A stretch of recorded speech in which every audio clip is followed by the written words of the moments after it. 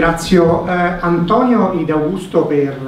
eh, l'InnoLab in generale eh, di Marco Cialdone che ci permette di vederci costantemente e di aggiornarci sull'evoluzione tecnologica.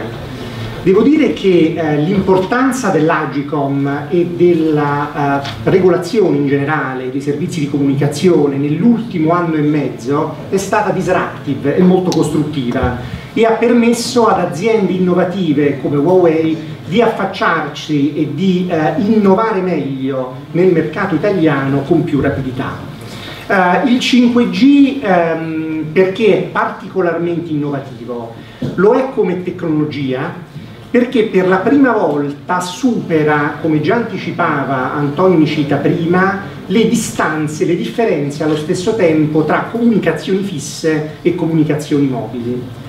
um, la fibra diventa determinante nel trasporto della rete e la rete allo stesso tempo si apre all'ecosistema che possono essere le piccole e medie imprese, la pubblica amministrazione,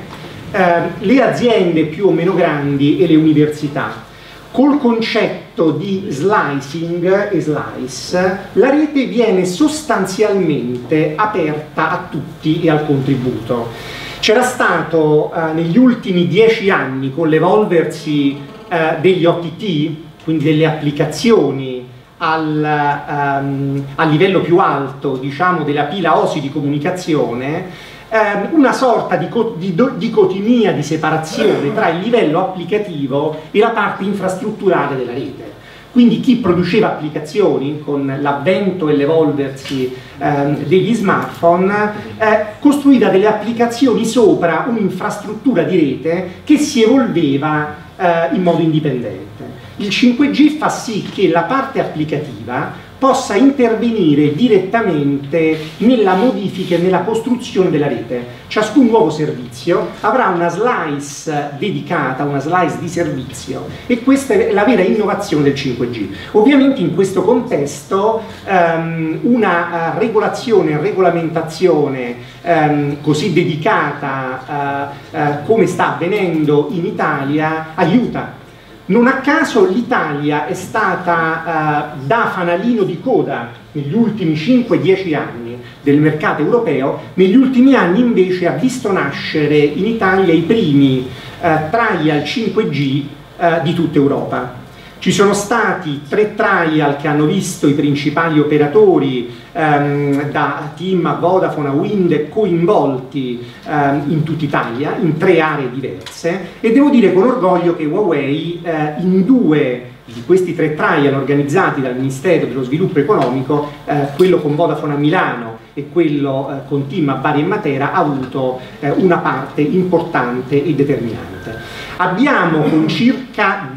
più di 10 famiglie di macroservizi e 70 use case, casi d'uso, dalla smart industry alla smart agriculture, allo smart port eh, a Bari, abbiamo creato e incentivato insieme al Ministero dello Sviluppo Economico un ecosistema ampio, aiutati sia dalla regolazione, l'Agicon, che eh, dalla politica, per riuscire a dialogare meglio con le piccole e medie imprese, con l'ecosistema italiano, con le università, penso ai politecnici, ehm, che adesso sono sempre più eh, nello sviluppo infrastrutturale del 5G, che vista la nuova modalità eh, del 5G come tecnologia e come ecosistema stanno uh, avendo un'importanza direi costruttiva e disruptive allo stesso tempo. Um, Huawei come multinazionale sta uh, dando molta attenzione in questo momento, avete visto anche gli scambi e i dialoghi a livello internazionale sul tema della sicurezza, perché l'apertura della rete così imponente e importante all'ecosistema, parlo di quello italiano, ma poi ogni paese eh, può avere il suo, permette e eh, ehm, richiede una maggiore attenzione ai temi di sicurezza, di cyber security. Huawei è stata ehm, la prima azienda ad aprire un lab aperto di cyber security a Bruxelles, invito tutti gli stakeholder qui presenti a visitarlo, eh, Antonio penso che ce l'abbia in programma di farlo eh, a breve. E eh, adesso cercheremo di dare un contributo anche alla politica, al Ministero dello Sviluppo Economico, ai vari stakeholder coinvolti per fare altrettanto con gli operatori operatori ehm, e dare attenzione alla sicurezza anche in Italia. Lo standard 5G sulla rete di accesso garantisce per gli algoritmi ehm, eh, che criptano il segnale uno standard diciamo più sicuro eh, garantito dal, eh, dai protocolli del GPP della rete di accesso di standard sulla parte di accesso però sulla parte core dove c'è il tema e la tematica degli slicing eh, ci deve essere attenzione ai temi della cyber security e della sicurezza in generale, parlerei di risk management.